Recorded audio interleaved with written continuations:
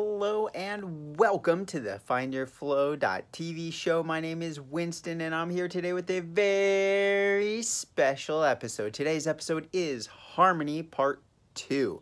And this is going to use the piano today or the keyboard. Last time we used the guitar, but we're going to be talking about harmony just the same. It's going to be awesome. You're going to love it. I really appreciate you being here, friend. Thank you so much. So let's jump right into it. Harmony is two or no two or more notes played at the same time. So if we're playing just one note, mm, this is C, and we're going to be looking at C. If how do we tell which one is C? All right, let's pretend we're brand new. Some of us are brand new on the the show today. So if we have two black ones here, three black ones, two, three, two, three. See that? There's a group of three, two, three, two, and it just repeats all the way down and up the keyboard. In between any two of the black notes, that note is a D. So we can always easily find a D. Right? D and D, and if we go down C, this is C. C. Can't go that low. Okay, and it just repeats. So C, D, E, F, G. And then after G, it repeats. And we start over at A. A, B, C, D, E, F, G. A, B, C, D, E, F, G. A, B, C, D, E, F, G. A, B, C, D, E, F, G. A, B, C, until we're out of keys. All right? And even if you have a short keyboard, it's okay. It might only be an octave. It might be an octave and a half, or it might be eight octaves. It could be really a big keyboard. So that's the basics of how we tell which key is which, okay? We're going to be playing primarily in the key of C just to keep it nice and easy. And that means we're going to be using pretty much only the white keys for today's episode. As we get a little bit more advanced and learn about some of the other keys, we'll learn how to use some of the sharps and flats. These are called sharps and flats. Okay, so for today, again, we're just using mostly the white keys. So to talk about harmony, we're going to be using two notes at the same time, and we're going to be using a major third. Okay, that's the distance from this note, C, up to E. And you'll notice all I'm really doing, the simple way to look at this is I'm just skipping a note in the middle. Okay? And if I skip one more note, I get another third. But this is actually not a major third. This one is called a minor third.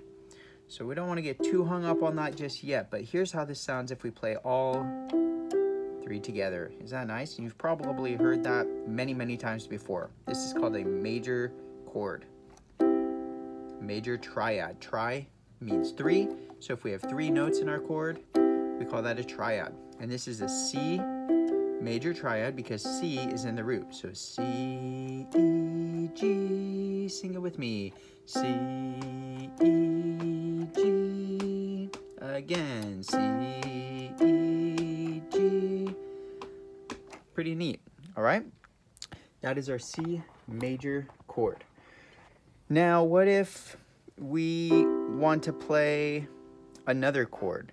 Well, one thing I want to share with you is uh, our hand position for playing chords. We need three notes if we're going to be playing triads.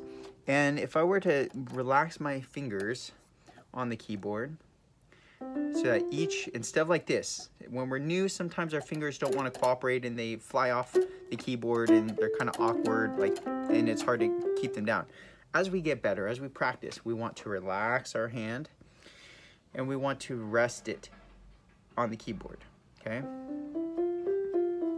Nice and smooth. See that? Okay, so at first I want to just play these two notes, my C and my E, with my thumb and my middle finger. And it gives me a nice major third. And you maybe have heard something like this before. Ever heard that? Ding dong, major third, ding dong, doorbell. right? Doorbells sound like that.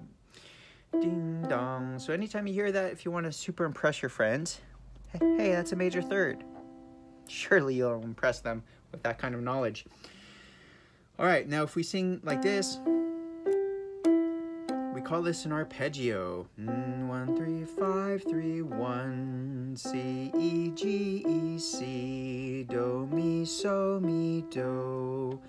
It's all different ways of saying the same thing. Now, if I take this shape, and I'm gonna make a claw.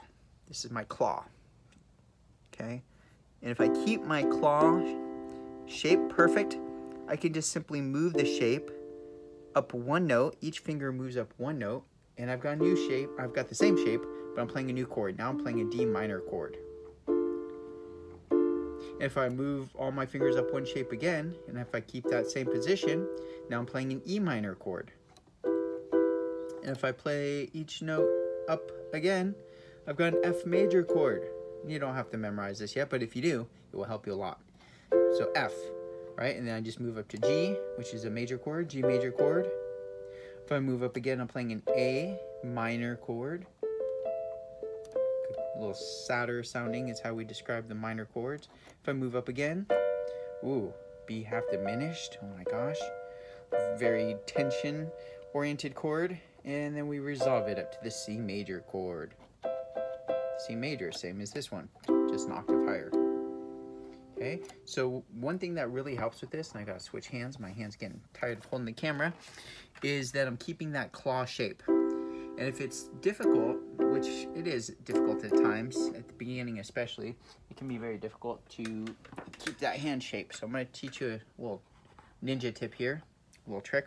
If I have a pencil, this is not a pencil, but if I had a pencil, I could use a pencil. Instead, I'm gonna use a drumstick. And I'm gonna put my middle finger, I'm gonna hold it like this. Can you see that? My middle finger goes underneath, and I got my pointer and my ring finger on top, and I got my uh, pinky and thumb underneath. And what this can help me do is to hold that claw position that we talked about earlier. See that? And then I can just practice sliding my hand up and down. Doesn't that sound cool?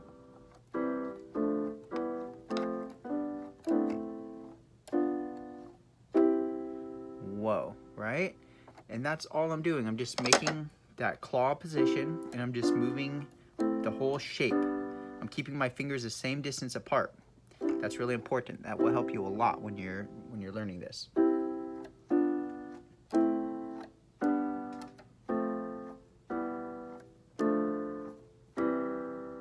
Pretty cool, right? Okay, so that's my main chord structure that we're going to be using for a while here. And in the last episode, if you saw the first episode of Harmony, we also broke it down into rhythm. And some people don't realize that rhythm and harmony are actually deeply connected. Very deeply connected, okay? So I want to talk a little bit about that today again because we're going to we're going to break this down. So this is three beats against two beats. Let's make sure I'm getting that on the camera there. Yeah, I think so. All right, beat one and beat two. Beat one and beat two. Okay, these are quarter notes.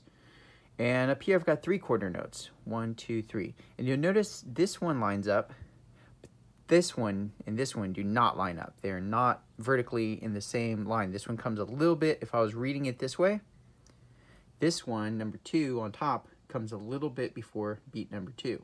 And beat three is off here kind of in the middle of what would be the next beat. So these don't exactly line up. And what we have here is three beats against two beats. We call this a polyrhythm. So we have one frequency. A frequency is how many times does something happen in a given period of time. So we're going to pretend this is our period of time. And we may even be able to go pro here. Oh, no, we don't want to do that. What do we want to do? Uh, let's do this. All right, this is kind of an annoying, really annoying metronome, but we'll work with what we got. So I'll set this for 90 beats per minute. And metronomes, even though they might be a little bit annoying, are actually super awesome for music practice, okay? They really, really are important. And there's a lot of fun things we can do with them. So today what we're gonna do is we're gonna learn to march a little bit. We're gonna march and learn to sing and tie this into harmony. Now why, why did I pick three against two? Let's turn that off because that is really annoying. Okay, the reason we're doing three beats against two beats is because when we're making harmony, so we've already talked a little bit about our major third. Sound nice that sing. Now, if there's if you and a friend are here watching this show together, you, we can actually sing both of these. We can have one friend sing this, mm, C or Do, Do, and then we could have our other friend sing this, Mi, Do, Mi. And what's really fun is when you're singing, you have vocal cords that go through here and air pushes through and these vocal cords actually vibrate. Just like if I were to play this bass you'll notice that that string is vibrating and that causes the air to vibrate and that goes to our ears and we hear that as sound. Well you have vocal cords that are kind of like this inside your neck. We all do, right? And when we sing or talk even, those vibrate just like these strings do. And that causes the air molecules to vibrate into waves and that's picked up by your ear. We hear sound. That's how sound works, right? So this note, C or Do, is vibrating at a certain frequency. And when we sing it, we are actually vibrating at that very same frequency. Isn't that neat? It's pretty neat. And if you're mm-hmm. vibrating at this and your friend is vibrating at this, you're vibrating in harmony. Isn't that cool? Yes, it really is happening that way at the physical level. It's pretty amazing. Okay, so that's a major third. Now, in our triad, we actually played this third note too. This is the fifth. Root, third, fifth of our triad. If we play just these, it's the root, five, one, five. And you'll hear me, I switch between musical languages pretty fluently. And the more of these videos that you tune into, the easier this will become for you, depending on, you know, what level of music theory you're at and skill. So these are some pretty useful concepts that I picked up over the years that can hopefully help you as well. So we've got C and G. C, D, E, F, G, C, one, two, three, four, five, one. This is a very important note in this scale, the five.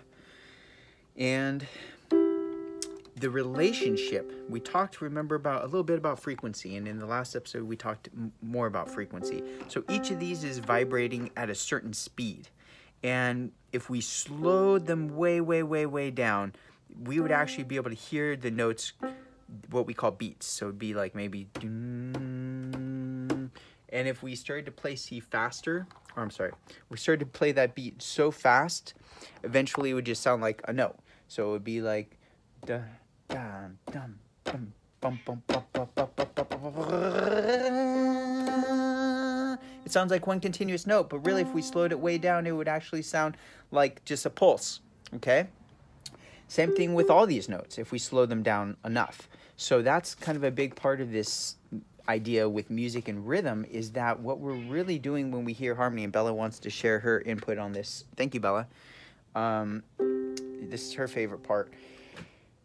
When we slow down harmony enough, what we actually have is rhythm. That's the secret here. That, that the underlying secret here. Bella loves it. She's so excited. Okay, Bella. Bella wants us to do a quick little plug here. So, uh, if you're looking for a little pick me up, find your flow essential oils I don't know why I just let's just put put some in so we can maybe calm Bella down. She's over there. Bella, thank you for your input. So we're just gonna add a little bit of this. This is essential oil. And we have different flavors. If you go to findyourflow.com forward slash shop, I'm just gonna add a drop beep, to our little uh, essential oil thing there. And we'll put that right up there, okay? Okay, a little plug there. Findyourflow.com forward slash shop. If you want any essential oils, pick me up. We have some other neat flavors too. We have tea if you like tea and coffee. All right, enough of that. So now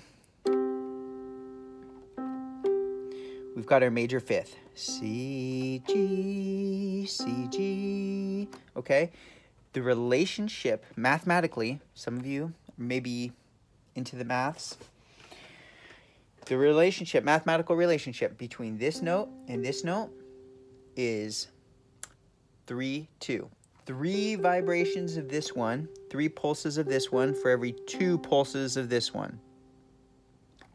Okay, that's the mathematical relationship. If we slowed it way down, you would hear it and it would look something like this if we wrote it out in musical notes. So let's learn a little bit about how to actually play that even if we don't have a keyboard. How can we do this? Okay, this is super fun. So we are going to learn how to do three against two, three against two beats. So we're going to do these two bottom notes, two beats with our feet. So this is going to be left foot and then right foot. So one, two, one, two. And if we step and kind of really get our bodies into it, this will be a lot easier. Okay, we don't have to think about it as much, especially if this is new to you. Okay, so left, right, left, right, left, right, left, right, one, two, one, two. Okay, that's the idea. We're to keep that going. And then these top notes, one, two, three, we are going to clap. So we're to clap those notes over the top. Okay, so it's going to be a little bit one, two. So on number one, we're going to both step with our left foot and clap. Okay, so that happens at the same time. But you'll notice before our right foot steps back down, we have to fit in a quick clap with number two. Okay, how's that sound? It's gonna sound a little bit something like this. One, a two. Do you hear that? So if I got one, two, one, two, and I start clapping, one, a two. That's what it should feel like, okay? It's a little bit of a quick little, uh, we call it the uh, if we're looking for, for subdividing our beat. One E and a, two E and a, one E and a, two E and a, one E and a, two E and a, one E and a, two E and a, one E two E and a, one E and a, two E and a, one E and a, two E and a one E and a two E and a one E and a two E and a. Okay, so I kind of just went for it. Hopefully you started to hear how this comes together. So this clap is on one, this clap is on a, this clap is on and. So if it's one E and a, two E and a, one E and a, two e and a. Okay? And there's a little trick that we learn in music that makes this a little easier to say sometimes or a little easier to play. It goes like this. Pass the butter. Pass the but ah. Pass the butter. Pass the butter. Pass the butter. Pass the butter okay? Pass the butter, that's it. It's really a fun thing to say and play. And we want to get good at this. And, and you could be standing up to march it. So I'm sitting down just to try to fit this on the camera. But let's try to play it. I'm going to tap it this time just to try to keep it keep it on the camera here. Bella, thank you so much for your input. Appreciate it. So we're to go one, uh, two, and no, this is not to work if I try to do it like that. All right. Let me go. Bella, you don't, I know you want to be on camera, Bella. Not enough for you. Thank you. All right. So one, a two, and one, a two, and one, a two, and one, a two, and one uh, two, and. That's it, all right? And if we're marching, we can really get it in our body. which is the best way to do it. We want to get this in our body. We want to get it so it's natural. We don't have to think too hard about it. See if we can try to get a better angle. Let me see if I can shush my cat. Ah. Shh. Be quiet. Be quiet. Thank you. Thank your turn to be on camera right now. It's not her turn. She gets a little frustrated. She wants to be on camera too. One, two, one, two, one, two, one, two, one, two. Okay, keep that going. If you just need to do that for a while to really get it in your body and system and feelings, do it. One, a two, and one, a two, and one, a two, and one, a two, and one, a two, and one, a two, and pass. The butter pass, the butter pass, the butter. All right. Hopefully you got that. So that's the rhythm, okay? Rhythm. And the harmony is that, but if we just sped it up really fast, one, two, three, one, two, three, one, two, three, one, two, three, one, two, one, two, one, two, one, two, one, two, three, one, two, three, one, two, three, one. So, if you want to take it to the next level, once you start flowing, you've got this part nice and slow. You can keep it slow while you're doing the counting. One, two, one, two. Practice counting these steps, right? The one and the two. And then keep the same rhythm going and then switch to counting the three. Okay, so I'll do it again a little bit slower. So one, two, three, four, one, two, one, two, one, two, one, two, switch, okay? One, two, three, one, two, three, one, two, three, one, two, three. Now I've still got the two going, right? That's my main beat. But I'm doing a polyrhythm, poly meaning more than one, multiple, multiple rhythms at the same time. And you get this very magical feeling. This is really fun. This is a great way to get into flow states. One, two, three, one, two, three, one, two, three, one, two, three. So I'm counting the three while I'm still holding down the two. And I want to get to the point where I can switch my counting. I can count the two and feel the two is the main pulse, or I can switch and count the three as the main pulse. Now, this is the three to two mathematical ratio. And if we were to speed it up, eventually it would get so fast it would just sound like sound like this. It's a major it's a major third, uh perfect fifth, sorry. Perfect fifth. One five. And there's all sorts of music that starts with this is a very open, powerful, strong sound in music.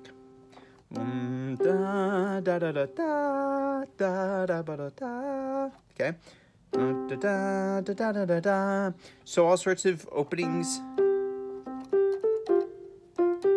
right? That start with that one five open sound.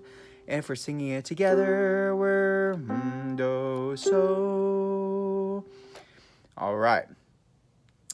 Pretty cool. Pretty fun. And if we add our third, now we give it a nice major third sound. Okay, so we've covered a lot today, and we're going to go into more about using harmony and chord function in some of the upcoming episodes. And I really appreciate you being here for this. I hope you are experiencing more harmony already in your life and in everything that you do, friend. And if you have questions or you want to uh, connect or reach out or learn more, you can email me, winston at findyourflow.com, and I will get back to you as quick as I can. Again, you can find things like essential oils and books and tapes and things to make your whole life more flowing and harmonious. So you can go to findyourflow.com forward slash shop for any of that kind of stuff. Thank you, friend. I hope you had fun. We're going to learn more about these chords and more about harmony in some of the upcoming episodes. So please subscribe to this channel. Tell your friends, share it, like it. I really appreciate it. Get the word out. Let's cause more harmony, create more harmony out there in the world using music and sound and rhythm and fun. So thanks again, friend. Be flowing. Until next time, my friend, be flowing. Thanks so much. Take care. Have a great day.